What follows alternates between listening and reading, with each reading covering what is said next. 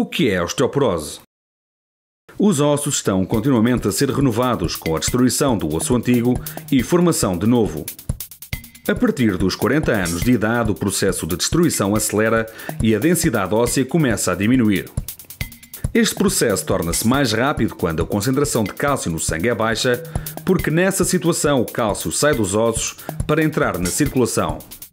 A osteoporose é uma doença caracterizada pela redução acentuada da densidade óssea, o que faz com que os ossos se tornem mais frágeis.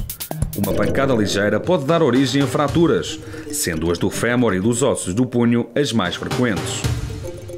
Como prevenir e combater? A osteoporose é acelerada pela falta de exercício físico, imobilização prolongada, tabagismo e consumo excessivo de álcool.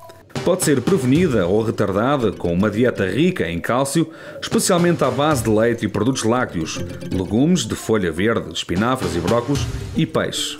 O exercício físico, especialmente aquele que causa pressão sobre os ossos, andar, saltar, dançar, ajuda a prevenir a osteoporose. Evite o repouso prolongado no leito e a imobilização. O seu médico de família também poderá aconselhar medicação para ajudar a combater a osteoporose.